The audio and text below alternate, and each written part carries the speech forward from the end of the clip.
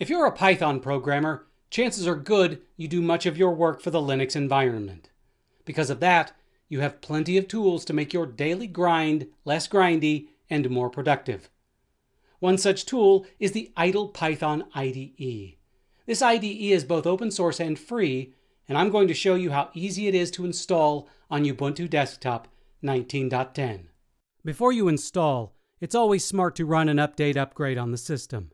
To update Upgrade Ubuntu, log into the desktop, open a terminal window, and issue the following commands sudo apt-get update, sudo apt-get upgrade-y.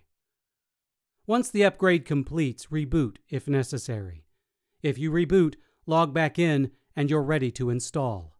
The installation of idle is incredibly easy. Open a terminal window again and issue the following command sudo apt-get install idle-y. If you click on your desktop menu, you'll find two entries for idle. One is labeled idle using Python 3.75 and the other simply idle. If you develop with Python version 3.7.5-1 or newer, open idle using Python 3.75. If you develop with or for an older version of Python, make sure to use the version labeled simply idle.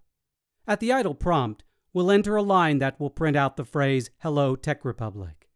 Hit enter on your keyboard and you should see the results. Let's create a new file with code that will check to see if a year is a leap year.